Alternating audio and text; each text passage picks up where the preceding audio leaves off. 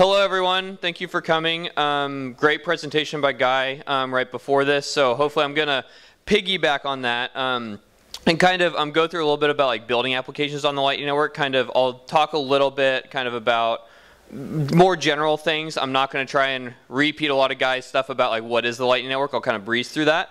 Um, but this is a workshop, so I definitely want to keep it pretty collaborative. So if you have a question, just raise your hand and like we can kind of go. We'll we'll make this interactive. So definitely, you know, interrupt me, whatever, and I'm happy to answer questions as we move along. So um, briefly about myself. So my name is Graham Krizek. I'm founder and CEO of Voltage. Um, Voltage is a Bitcoin infrastructure provider, so we help companies leverage Bitcoin, the Lightning Network, all of these tools and services, um, and understand kind of how to bring this technology into your business, your products and services of what you're doing. Um, I've been an engineer for a long time, been a Bitcoiner for a long time, um, and so that's kind of what led me to create Voltage. Is it's the you know kind of this natural mix of um, we need infrastructure, we need um, easy tools to start working with this stuff, and um, there's obviously that gap in the in the market. So for Voltage, we we launched in October of 2020, um, infrastructure provider for Bitcoin, like I said, um, and we're very Lightning Network focused. So we do uh, general Bitcoin things, but definitely. Our most prominent product is like our Lightning Node hosting and liquidity and all of these things. So uh, we're definitely, I guess, most known for what we do with the Lightning Network. So I have QR codes throughout this presentation. I didn't realize how small this screen was going to be, so they're probably pretty useless, but you can go to the website if you want to.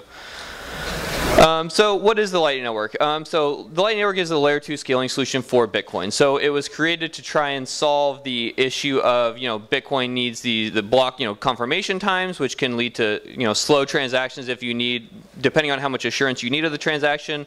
Um, being able to do more, uh, you know, in the instant payments, global payments, um, you know, it, it, enables a lot of the, us to use it in a more um, normal payments um, mechanism rather than like the base layer which has its own you know unique properties um, that lead like that are you know for its security. Um, and so lightning network enables um, instant cheap and you know truly peer-to-peer -peer payments. Um, so what can lightning do? Payments duh like that's that's an obvious one. Um, but when you really think about okay like payments is easy like we understand that. But like you when you think about it in a more deeper sense the lightning network can do like crypt cryptographically secure payments. So you know uh, you you can have um, the assurance that you know that when you get a payment from this person or like someone pays an invoice that it is you know it's real it's valid there is you know the cryptography behind it that actually you can prove that this invoice was paid. Um, it's very privacy focused as well. I don't want to say it's completely private because there are, you know, some privacy issues to still solve inside of the Lightning network, but um, it is very privacy focused as a network. Um, and then it's also like it can enable microtransactions, so you can, you know, send one Satoshi payments um, very, very easily, where you think about doing that in any other context, you know, sending less than a cent just isn't really possible or doesn't make sense. Um, and then autonomous payments. So with this, you can essentially send payments like just like TCP packets like in, you know, in, in, in, on the internet or do like, you know, web calls or something like that. So when you think about the possibilities of actually doing peer-to-peer -peer payments in an, in an, automated way, there's nothing that is better than the Lightning Network because it has, you know, this, you can do completely, you know, autonomous, you know, just completely script an entire payment workflow um, very, very easily. Um, and then additionally, it's fast payments. So I have an asterisk by fast because I'm sure there's people of like, oh, well, Tor's slow or something. It's like, yeah, sure, whatever. But like, you think about, you know, when you think about doing a credit card payment or something, you know, behind the scenes, the bank has to have a certain amount of days to like actually actually validate the, all of those things. So it is fast payments uh, inside of you know the true finality of it. Um, and so, you know, so with all those things that it can do, you know, we're able to embed payments in everything, um, which is really, uh, you know, not possible previously, especially when you think about, you know, what you can do with, you know, paywalls. You think about you go to the New York Times website and it says, hey, get our $8 a month subscription to read this page. You know, I don't want to do that. I want to read this one page and I'll pay 10 cents to read this one page. Well, entering in your credit card details for a 10 cent transaction sounds pretty awful. And so um, you're able to really embed payments into more things. I think that the flip side of that though is you can get really um, you want to be careful about the user experience of if I want to charge nickel and dime everyone for every little single thing you do. And so there's a there's a lot that you can do inside of like what people are working on with like WebLN to like kind of embed Lightning payments more natively into the web with like uh, browser extensions and things like that that um, I think can do a lot in terms of metered pricing and things like that and actually paying for you know literally only what you use but being able to i think embed payments and a lot more things is really uh, it, it is a it opens up so many doors in a lot of different industries really across the board um, and so what are kind of like a lot of the market opportunities i see inside of like people that are building on the lightning network um, obviously payments, everything that I just mentioned.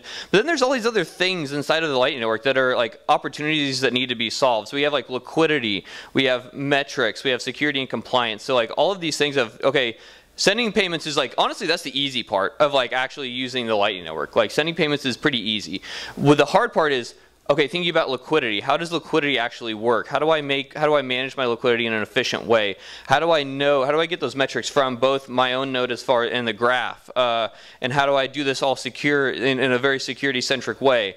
And those are the really hard parts. Um, and so that's like, you know, the market opportunities that still are, you know, Voltage is solving, other people are solving, and there's still a lot to go inside of these. Um, but really, when you think about all of these different aspects, this is just an entirely new way to monetize whatever you're doing. We're talking with people that are in the energy sector or, you know, the, the payments or gaming, whatever all of all of the the industries across the world can really benefit from lightning in one way shape or form whether it's you know, you literally pay for every kilowatt hour that you're using like instantly with Lightning, or if it's just like even just settling your bill like once a month over Lightning or something. There's a lot of ways that you can leverage the technology, and it really opens up the door to do more things. And I think that it, it, it benefits the company as far as um, being able to open up new ways to monetize, as well as a better user experience for the user, like that that uh, example I gave of like the um, the newspaper and like paywalls and things like that. Um, so like what we see people like kind of building right now is like a lot a lot of e-commerce stuff. That's kind of the natural like okay, Lightning is a payments network, so a lot of people do payments with it of like in like you know buying a ticket for something.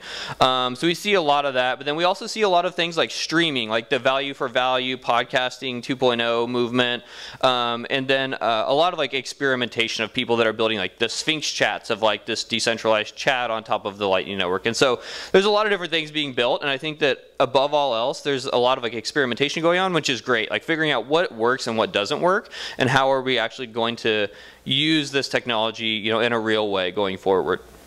Um, so a bit of a lingo breakdown. So we have like nodes inside the Lightning Network. That's essentially your server that is responsible for communicating with your peers on the network. Um, and so uh, the nodes establish channels to other other nodes, and that, those are what was Guy was talking about with uh, being able to, to, to transact in the Lightning Network. You have to have a channel established, and you know you use your node to establish the channels. Um, your node has to be online to send or receive, um, and then it is your node is essentially like your identity, like that pub key, like when guy was showing that big graph of like all the things, you know, those are the nodes. Um, Liquidity is essentially like the funds that you have on the Lightning Network. That's the how much you are able to send or receive. Um, you you have to have liquidity to be able to transact, and then um, you are you're limited in how much you can transact by how much liquidity you have in either direction. Um, I'm I'm kind of glossing over a lot of the these terms because I want to get more into like actually have a demo and building things. Um, so when you have a when you start up a brand new node, this is what your liquidity is: zero. You have nothing on either side. You have no liquidity. And so um, oh, shout out to Paul up here for these screenshots of the node things. I stole them from him. Um, but so then you open up your first channel. So I opened up a 100,000 sat channel to you know ACINQ or someone. Um, so now I have the ability to send 100 up to 100,000 sats. Um, and then once you actually transact, okay, that's moving that from your side of the channel to their side of the channel. And so now you're able to either, you could receive a payment up to 20,000 sats, or you could still send a payment of 80,000 sats. So it's, that's how liquidity kind of works inside of the network. It's, you know, everyone uses kind of like the abacus beads like as an example, which is actually a pretty accurate um, way to think about it. Um, and then additionally, if I'm going to say, I'm going to buy a 100,000 sat channel, so someone else opens up a 100,000 sat channel to me, I'm able to, I'm not able to send out of that channel at all because I have zero on my side, but I can receive up to 100,000 sats of inbound for it. Um, and then going into credentials. So when you have your node, your credentials are how do you communicate with a node? And each implementation has a little bit of a different way of doing the credentials. Um, LND uses macaroons. Um, C Lightning uses something called runes. Um, and these are these are essentially like an API key. They have a little bit more functionality than just a, a normal API key you get from like a web API. Um, but you can do very you know very specific permissions with these credentials of like limiting it to an IP address or you know other kind of kind of custom validation that you want to do to ensure that this credential um, can do exactly what you want it to do and you know not anymore. Um, then obviously these are meant to be kept safe and private. They're they are your credential into the node to actually send and receive, do all these things. Um, and then finally APIs. So this is how you communicate with the node. Um, this is how you do those sends, receives, all of those things. Um, and this is essentially what all of the tools and dashboards use when you think about ThunderHub or Ride the Lightning or any of these tools that are kind of interfaces on top of your node. They all use the APIs, and they that's how they get their data, visualize it, and perform actions. Um, there's several different APIs inside of these node implementations. Usually they're either gRPC or REST. REST is the pretty normal, like uh, I would say, way that most APIs function gRPC is a little bit of a newer kind of you know remote. Um, what does RPC stand for? Now I'm now I'm forgetting. Remote procedure call. Thank you, Paul. Um, uh, and so there's uh, it's essentially your the API is really you know your your entry point into the node and being able to do all these things that you want to do. Um, so I made a really quick diagram to try and uh, communicate this, and that because this is something that we get a lot of, of like, you know, if your node is running on Tor, okay, but does my API communication have to go over Tor or what? But like really, your node is has two methods of communication. One is to the peer-to-peer -peer network. That's when you're communicating with your peers, opening up the channels, staying uh, in sync with all the other nodes on the graph. That's the peer-to-peer -peer communication. That is fairly common to run over Tor. Um, and then you have the API communication, which is you know you interacting with that node to send, send and receive, uh, or like issue those commands to the node. This is I would say less common to run over Tor. Some of like the at-home like node boxes like Start9 and Umbrel and all of those like uh, I think they expose like the APIs over Tor, but um, it's more common for that to just be ClearNet, I guess. Um, and so like how do you actually integrate Lightning? Like if I have this idea, I have this app or whatever, how do I integrate Lightning? So there's a lot of, there's, there's, there's several steps to it. And one, you have to have like highly available architecture. So like I was saying, you need to be online if you want to do anything serious um, besides just kind of like a personal wallet you need to be online all of the time uh, and that's important for one for your node to have good um, ranking as far as like the network is concerned, but then also your ability to route or send and receive. Um, if your node's down, you can't do any of that. So it is very important that your node is online all of the time. Um, and then also you need to have a good strategy around the API communication as far as like those credentials go, um, your like access to the APIs. So us on Volt, our Voltage platform, we have like an, what, an IP whitelist, so we can you can tell um, our platform what a, what IP addresses are allowed to talk to your node, um, so you don't just open up to the whole world world, um, and then having a method of doing those notifications for payments or invoices, which is something I'll kind of get into in a demo. And then things like uh, uh, adequate observability. This is one of the real challenges in the Lightning Network is you know, once you have a node up and running, you're doing transactions. Okay, how do I actually like get the data out of like my transactions of like who paid what, um, being able to see how is my node performing over time. This is something that we're working on a solution for as well called Surge. Um, and so there's above all else, there's no single example of like, here's the textbook on how you integrate Lightning because it's very specific to what you're doing and you know what you're building. So uh, those are just some like some bullet points. So um, so with that, we're gonna I'm gonna go through a little bit of a coding thing. Um, again, QR code. But if anyone wanted to follow along, I have this repo at GitHub.com/slash cloud slash BBBBB. That's five B's. I'll, you'll see why in a second. Um, so if anyone wants to follow along, like go for it. Um, I'll leave it up here for a second. I see some QR scanners. Um, uh, okay, so while people are scanning the QR code, this is a bulletin board project as like an example like bulletin board. So it stands for BitBlock Boom Bulletin Board is what the B's stand for. Um, so with that so a few definitions to go over before we get into the project. And one KeySend so KeySend is a thing inside of the Lightning Network that essentially allows you to send a payment without requiring an invoice. So when you're doing payments on the Lightning Network the way it was like you know initially created was that person A generates an invoice, sends it to person B, and person B pays that invoice. Great. But what if I want to, like, I want to gift my brother $50 for his birthday? I'm not going to go ask him, hey, can you generate an invoice for me? And then I'll pay it. And it's like, that's just a bad UX. So we want to be able to do a more Venmo-like payment of just, I just want to send him $50 and that's it. And so that's what KeySend does is it's the ability to essentially just send a payment to a peer on the Lightning Network. Um, it still uses invoices and things like that. Well, not invoices, but like the whole pre-image and all those things behind the scenes, but really that's abstracted from you, so you can just send a payment to a peer. Um, TLV. So TLV stands for type length value. That's something that you can put inside of a Lightning Network payment. That's essentially metadata. Um, it's, a, it's essentially uh, having a, a you can add additional context to the payment that you're doing. This is what people like Sphinx Chat and Podcast Index and some of those use is TLVs. So when you're in Sphinx Chat, when you're sending a message to you know someone else, it's using TLV. It's putting that message inside of the metadata of the payment, and so it's just a way to add extra data into inside of your payment. Um, and then finally, gRPC. Kind of touched on it earlier of remote procedure call. Um, so this is this is the, the, API that you're communicating with into the node, and we're going to be using gRPC in this example. Um, so okay, so that's good. So let me share. A bit of code here. I'm going to have to make this bigger. Holy cow, that's tiny. um, okay, so so starting with this. So this is um, our. Sorry, let me get my windows adjusted here. This is our example project. So what this is is right now we have a bulletin board project, and what this does is it is um, we have a REST API exposed um, where anyone can post to the bulletin board by um, just hitting our API. So I'm gonna gonna run just the, the bare bones example of like um, of just our bulletin board project. So you can see, okay, so server starting on port uh, 8080. So if we went to a web browser, Sorry, this is like ridiculously small and I was not prepared for it to be this small. Um, okay, so this is like our bulletin board. So these are messages that people have put that I did just a few minutes ago. Um, and so we can see, let's send a new request to this API of like new message. Okay, um, we did that. We got the new message. We see it up here on the bulletin board. So great, that's all cool. That's a, like a you know normal web app.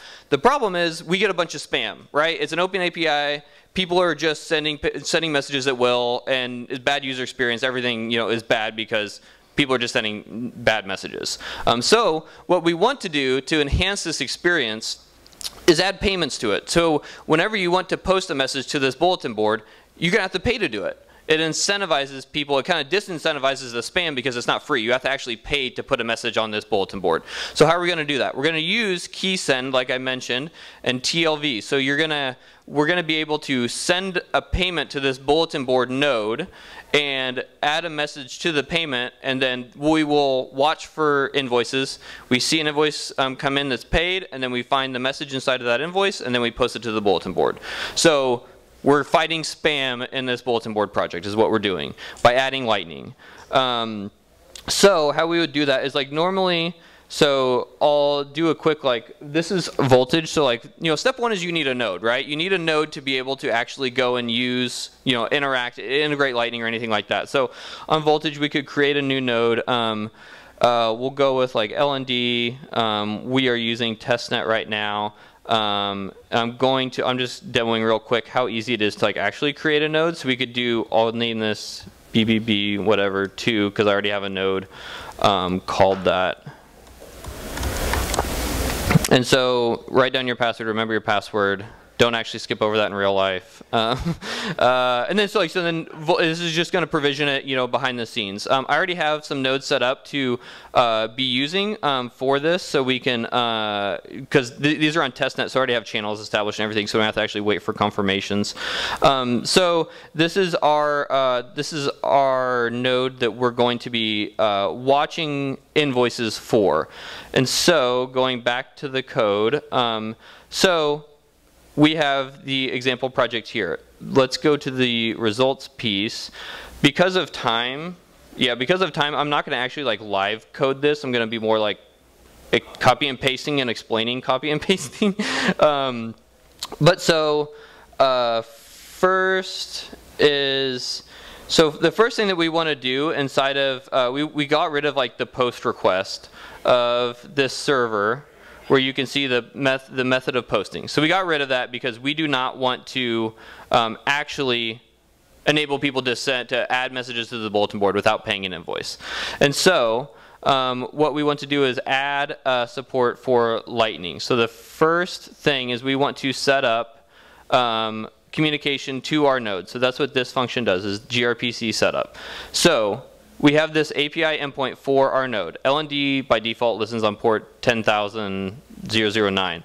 Um, and being able to inside of inside of voltage like the things that you need to connect to a node are your endpoint normally a tls certificate and then the macaroon that api key. With voltage you don't necessarily have to pass in a tls certificate because we have like ca signed ones but for the sake of the demo we can pass in a tls certificate um, and then we specify the macaroon um, and then with that we can set up the grpc library um, so by by doing that, so we essentially we've set up all of the communication require all of the details required to communicate to the node.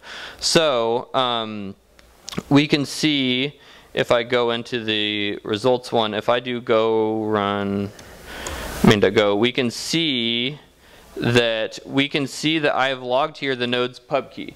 So that means that we're able to call to the node and actually receive its pub key. And so that's kind of like proving that, okay, hey, we have uh, communication to the node. We know that we're listening on this, this address. Um, and so, uh, so this gRPC setup is functional. Um, so uh, next is uh, the, the thing that we, so we set up the, um, a new LNRPC client. So this is uh, I'm using Go, obviously, if no one picked on, up on that yet. But um, LND has um, an LNRPC library, so it's an easy way to communicate with a node. There's other there's SDKs in almost every language, at least the popular ones like you know Node.js, Python, whatever. Um, and so uh, with with the library, we're able to create um, easy methods of communication. And so we set up a client, and then this is that get info call that I just called to get the information for the node and we're able to see the uh, see the pub key attached to it. Okay, so that's all good. So our no our our project now is not listening. We you are not able to add messages to the bulletin board via the API anymore. And now we're able to connect up our project into the uh, communication to the Lightning node. So we have that set up. But now we need to actually listen for invoices and watch for payments to come in and then know when a payment is made and check that message. And so with that, um, it's uh, there's this subscribe invoices um, call, which is a streaming call from um, LND. And so with that, we're able to hook up um, a stream from the Lightning node and just constantly listen. And anytime an invoice comes in that's paid, we just it comes to our stream and we're able to process that and figure out what we need to do with it. Um, so we set up the subscribe invoices stream, um, and then we just listen um, for for payments to come in. Uh, and so when a payment comes in, um, we can see we, we receive the, the invoice, and then we first look if the invoice is settled. So if we, we need to look if the invoice is settled because if we just get a payment that's not settled or failed or something like that, we don't, you know, they don't get a go on the bulletin board. So, uh, so we first need to check that the invoice is settled. And if it is settled, then we say, okay, great, we got an invoice that's settled. Um, and then we need to look inside of um, the, the HTLCs. So, uh, HTLCs are the hash time lock contract um, that are inside of Lightning payments. So you could have the reason why you have to actually look into the HTLCs is that a Lightning invoice could have multiple HTLCs um, with like multipath payments and things like that. And so we have to actually look at the list of HTLCs inside of this payment, and we're going to loop over the HTLCs, and then we're going to look for that custom, the custom records, which is the TLV, um, for this specific number. So how TLVs work is that you, you can't, it's not necessarily arbitrary JSON. You have to actually like add like a number as the as the the the key. Um, and so when you think about like Sphinx Chat uses, I can't remember what their number is, but there's you know specific numbers for specific applications. Um, KeySend has its own. it uses TLVs and it has its own specific number. Um, for the sake of my demo, I'm using 420 420, um, and so whenever so whenever someone wants to post to the bulletin board, they have to add the TLV uh, of their message has to be on key 420 420. Otherwise, you know, that's like that's kind of my apps is just kind of we just got to communicate that to our customers that hey, our TLV value is 420 420. And so um, anyone that sends a payment that's not that has a message not on that, we don't see it. Um, and so it's just it's kind of like the requirement of like the API, so to speak. Um, so we look for any custom message that is on that value of 420, 420. If it's not blank, if there is a message there, that means that we found the message, and then we're going to write it to the bulletin board. So with that, we should be able to listen for invoices. We see an invoice. We check if it has the right TLV value on it, and if it does, great. We're going to post it to the board. Um, so watching that in real time, um, so I have, I have it um, right here listening for it. So you can see my previous attempts. But so what we're going to do is we're going to use LNCLI to communicate with the node. Um, LNCLI is the CLI into LND. Um, it's probably obvious. Uh, but so we first need to specify the RPC server. Can you guys read that, or is that too small? too small. Yell at me. Say it's too small.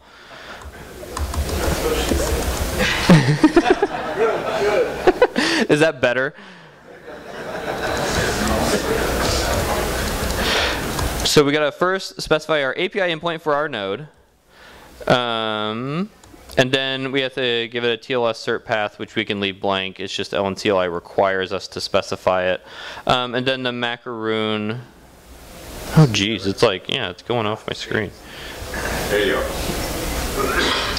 Holy cow. All right, macaroon path, um, which I'm going to specify the macaroon path um, that I'm just reading from above. Okay, and then so so this is like kind of the parameters for LNCLI to communicate with my node to send a payment. This is what I'm trying to do is I'm trying to send a payment to post to the bulletin board.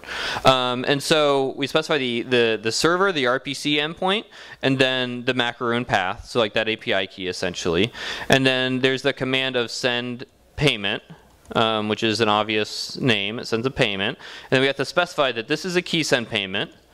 And then we need to tell it the destination, where, who am I paying, where is it going, and we can grab that from this log here of like, okay, this is the node that's listening, so we're to pay this person, um, and then the amount. So how much do you want to do? For this example, I'm not requiring a specific amount, um, so we'll do two sats, um, and then you have this data flag, which is that it's essentially the, the, the, means to add in that TLV value.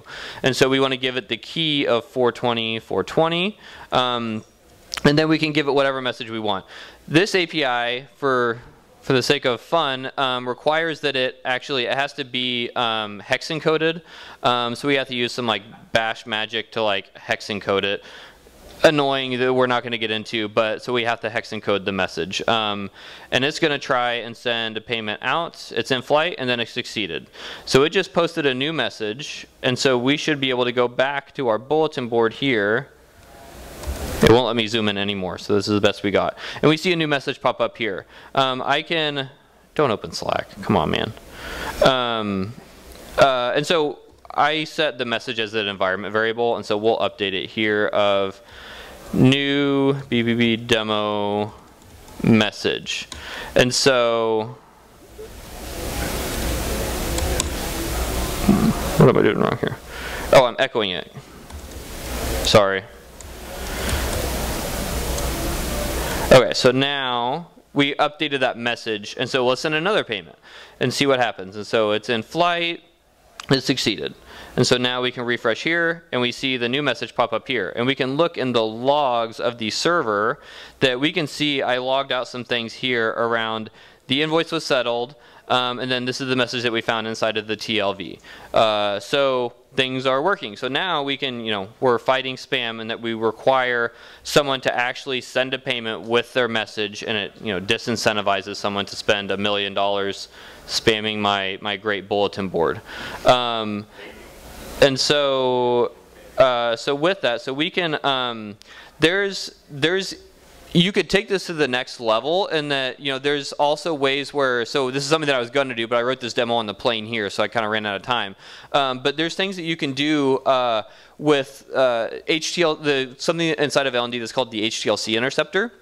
So as payments are coming in you're able to grab the HTLC and do something with it. You can either fail it or settle it or just hold it and so if you want to take this to the next level, like let's say instead of just requiring a payment, we also want to like do some like uh, natural language processing on it to make sure that it's a positive message. We want to not allow anyone to send a negative message to our platform. We only want positive messages. And so you could um, listen for the HTLC interceptor, like pause the HTLC, check that message against like an NLP engine and say, okay, this was a positive message. We're going to allow the payment to go through.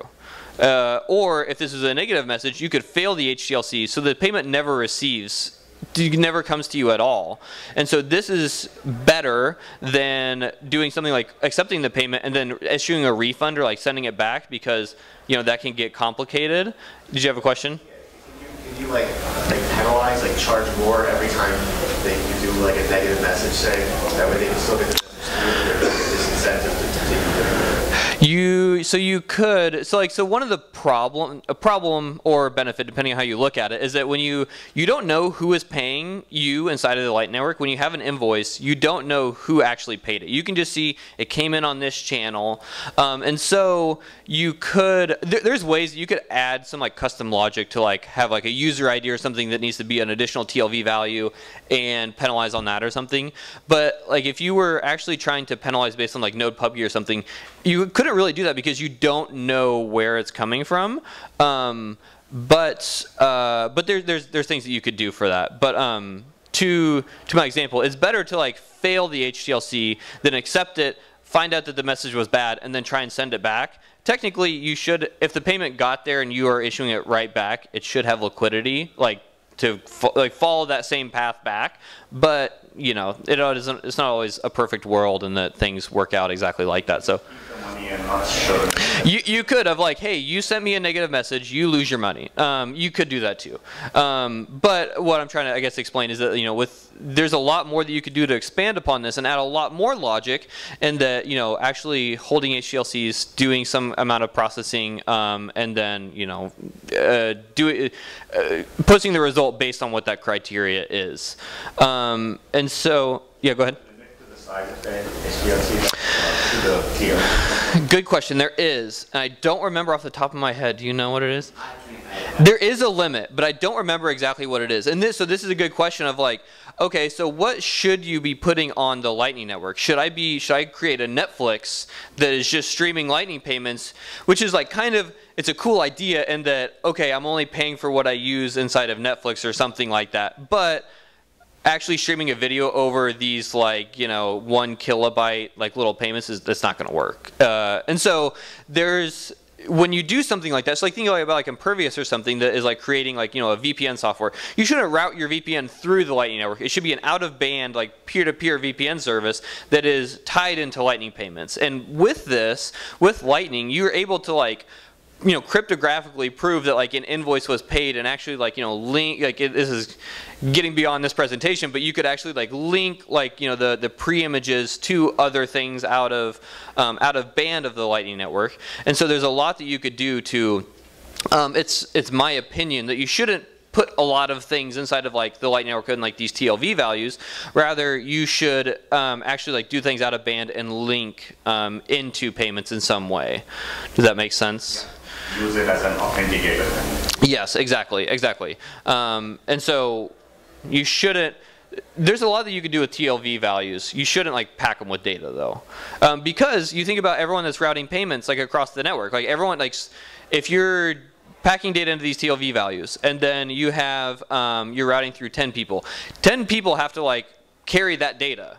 um, and then they have to like store it and all this stuff. Like it gets it's burdensome to the network to actually pack these with data. And so um, it's good to keep them light and you know handle things out of in, in a different way. Um, how am I doing on time? I got about 10 minutes. Okay. Um, so great. So that's essentially the demo. Um, any questions on the demo itself? Yes. What's stopping someone from just flooding the network with data you can like fill it with as much as you want? Um, nothing. Um, I mean, like, like really, like, so, like, this is like kind of like attack vectors. Like, people have been like, I think, talking more and more about with like things like channel jamming and stuff like that. And that's so that's like essentially what's called like a grief attack, where like you're you could bring down someone's node by just flooding them with like gigabytes of data. And like, there's not, there's not. I don't think that implementations have a ton of prevention mechanisms for that today. They probably will in the future. Um, but you could, you know, if someone's just sending a ton of data, just disconnect from, yeah, don't connect to them as a peer, close channels with them, and the, the, that's the thing about the light network right now is it's so kind of small that like it's everyone is pretty in, in good communication with each other where like there has been problems where accidentally someone was flooding the gossip network and causing everyone's CPUs to just be maxed out constantly because it was sending too much gossip. And we're close enough we are all like in a slack together of like hey can you stop doing that? And he's like oh yeah sorry I'll stop. And like that was it. But um, there are ways that you can prevent things like that happening. And additionally, with your HTLC like interceptor, if you see something like that coming across your node, you could watch for things like that and like you know block the peer close channels whatever. Um, so there are ways to prevent that. But it's not necessarily baked in today. Does that make sense? 10 minutes left thank you sir Can, can all the routing nodes see your uh, TLV uh, message? no the the TLV is encrypted in like the onion packets and only the recipient the end result can see the TLV so if I'm routing a payment I cannot see the TLV unless I'm that the end payer payee As a router, can I stop messages with TLVs? I don't think I don't think that you're able to see any of that inside of the payment. All like when you get an HTLC across your node as a router, all you can really see is where did it come from, where is it going, and the amount. Basically, there might be a little bit extra, but you can't see any of this metadata inside of the payment. Yeah, Chris. So can we maybe take a half step back? I'd be curious to know what implementation of Lightning you're building on.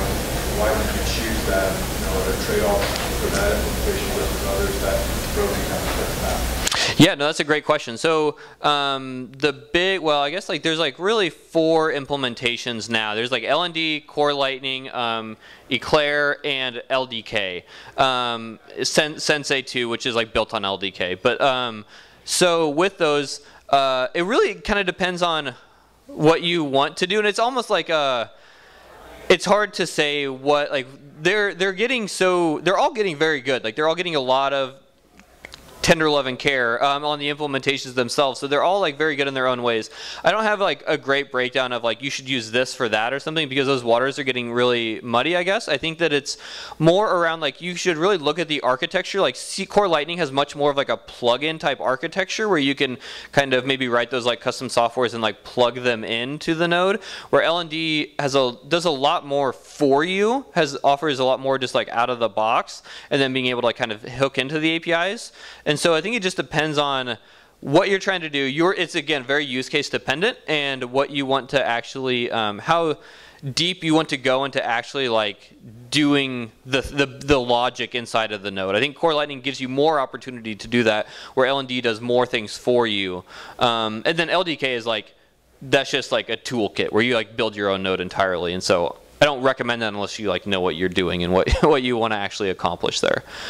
And so what is this built? This is LND. I was using LND today. Yeah. I played around with block payment uh, a little bit, Mhm. um, and this kind of reminds me of that for Lightning, like just an easy way to. Yes. Yeah. Definitely. Yeah. And that's what that's what voltage is essentially. You know, like we're kind of like a Blockdaemon, but specifically focused on Bitcoin and Lightning. Um, yeah. Question in the back. Any way that you can adjust the transaction cost uh, for any specific message or kind of regulate the transaction cost of the message? Regular transaction cost per i don't think that you can do it per message. Like with with all routing inside of the lightning network you can set routing fees. So you can set fees on your channel of you know for a payment to pass through this channel i'm charging 1% or 2% or whatever. Um, so you can set them on the channels. I don't think that you're able to set like a per transaction fee Someone correct me if I'm wrong in this room, but like I don't think that you're able to set a per transaction fee. It's more all the fees are on the routes themselves, the channels. Technically, you just initially uh, setting up the cost of the message, and that will apply to all the messages. Y- yeah, like yeah, when you set fees on a channel, it's applying to every message that comes in across that channel. So they're a little bit more general. Paul? Could you explain the difference between, this is KeySend versus like an invoice? Yes, yeah, okay, yes, that's a good point. So this is using KeySend, like I said. A flip side of this, like if you didn't want to use KeySend or something, like you could on your bulletin board UI say, I want to post a message, and then you display, you generate an invoice and display it, and then they can pay that invoice with the TLV data. Um, I think that, you know, for the sake of this demo, that's a little bit more it's not as good UX instead of just like just sending a payment. Um, but that's the flip side of this. Instead of just doing KeySend, you could generate invoices, and and and maybe that's a way for your question of like mapping them to a user, knowing that this user generated this invoice, and then I could do that penalty mechanism and things like that. Does that answer what you're asking? Okay. Yeah. On the voltage nodes you were running earlier, do each of those download the full blockchain when you open them? You, Are they all full nodes? Yes, that's a good question. Um, we have like we have a tiered system on our on our node. So we have a light node which is backed by Neutrino, which so that doesn't use a full node. It uses Bloom filters. Google that. Like I, I won't get into all of that stuff right now. Um, and then we have a standard node which does use a Bitcoin full node as the backend. Um, and then we have like professional nodes that also use a Bitcoin full node as the backend. Um, but we have kind of a, a, a, system built around like the Bitcoin nodes that the Lightning nodes connect to um, to to maximize efficiencies. But um, essentially they they do can connect to a Bitcoin full node and you know operate with all of that. Yeah. Do you have any idea, do you have any idea how many uh, transactions like per second those nodes can handle? Yeah, that's a good question. Um, and uh, there's been some tests and stuff. I can't remember. I mean, Joost Jager did a from like BottlePay did like this whole study on like TPS of like lightning nodes and stuff like that. I cannot remember those numbers, but it's like it's decent. I want to say it was in like the hundreds or something. Um, and uh, with that, I think that there's a lot of. I don't think like TPS has been like a focus for like development, but I think there's a lot of improvements that could be done to increase TPS. I just don't think we're there yet as a network to be worried about like TPS, but technically. In like you can increase TPS a lot with um, sacrificing a little bit of like assurance of like okay, maybe this doesn't like get written to disk in time or something like that. It's like it's it, it can get very hairy, but I think TPS today is in the hundreds. Chain a bunch of nodes together? You could, you could. So that's it's a good segue. Um, good job bringing that up because I'm also getting close to out of time. So like when you go to like how do you go to production? Like say you want to okay this is great. I want to like launch this on mainnet. I want this to be real and users and everything. What do you do? And so number one, you need high availability architecture, like I mentioned earlier. And to kind of answer your question is that you could, like we usually do recommend having like multiple nodes. And it's one, good for just the high availability. One needs to get updated, one crashes, whatever. You have another one to process payments. Um, but then additionally, you are able to kind of shard that TPS across many nodes, where if you're round robining three nodes and generating invoices, your TPS essentially increases by that number of nodes. And so that is a thing that you can do, and it does. It is a potential solution today. Um, and then another thing that I always recommend is test on mainnet. Everyone I, I even was a victim of this when I was creating Voltage of like you test everything on testnet and you think that okay it's great and then you go to mainnet. Mainnet is a whole different beast as far as like blocks go because there's actually real transactions in there. Blocks are more full. Like things are things operate a little bit differently. So always test on mainnet. Like don't assume that testnet is a great validation of mainnet. Um, and then lock down everything. Do those things that I was mentioning earlier about like making sure your uh, your your API endpoints aren't exposed to the world. You have those locked down. Your macaroons are locked down, um, and then observability. So there's a lot that can go into the uh, uh, security and observability piece of it, and that's solutions that we're creating with like our product Surge. Um, and so those are just critical things you need to go into production with. You don't want to um, go to production with a node that is not prepared to go to production and then something bad happens. Um, so you know, test, um, do all those things uh, to do that. So yeah, I think that that's the end of it. So I have two minutes if there's any additional questions. Okay. Actually, I'll have a question. Yeah. Voltage specific, specific, specific about your infrastructure and high availability and everything like that. Since those are hot wallets, Mm-hmm. is any of that encrypted or anything like that when you create those disks or virtual machines or anything like that? Yeah, yeah. So that's a great question. So every, every like essentially everything is encrypted. Like disks are encrypted. When you create the node, you set a password to the node that we don't even see. So it's it's uh every, in like all of like your macaroon and seed phrase, everything is encrypted to that password. And so answer your question, yes, literally, I think everything. I mean, basically everything is encrypted, and the the the main encryption mechanism is that password that you set at node creation that voltage can't even see. So that's why we have all those warnings of you lose your password, we can't help you. Um, so yes, everything is encrypted all the time. Well, since it is, you're becoming counterparty though. In that instance, like if I'm Nomad, you're my counterparty, right? So, And it was like flight risk or anything like that. yeah. I'm like there's like just like some trust involved of like we have to keep your node online and things like that. Like yeah, it's not. There's no way to do hosting in a really trustless way, but there's, you know, we can't see the data inside of your node. We can't move funds. We can't do any of that. But you have to like trust us that hey, we're going to keep your node online. You provide like liquidity or balance or anything like that. Yeah, so uh, with our platform, we, we offer the nodes. We have integrations like ThunderHub, LNbits, a lot of those tools. Um, we do have like a semi, like we have we have some liquidity solutions today. We have Flow, which uses um, Lightning Labs' pool product and sidecar channels, um, as well as we have a way for just like to get a channel from like our voltage node in the dashboard. We're definitely building out liquidity tools. Um, so yeah, we're, we're we're building out kind of the full services around Lightning. Last question, sorry, God. Uh, do you reverse proxy by chance? Uh, we, we, we, it depends on the, so we have like, we have our APIs, we have like the node APIs, all of those things. Um, and so there are like reverse proxies in there, but it's a, it's a complicated setup across like the board. Can I reverse proxy from you for privacy for rec- receiving? What, I'm, Way too complicated. I'm not, I'm not following your question. I only, like, after this, like follow, yeah, follow up with me. Just great. Uh, are you uh, plans to support Core Lightning and or other implementations? You had to ask. Yes, no, ab- ab- absolutely. Yes, we are. We're planning on adding Core Lightning. It's it's actually being worked on right now. Um, so expanding out our implementations, all the tools. So yes, absolutely. Yeah. Cool. I think that I I'm at time. So thank you, everyone.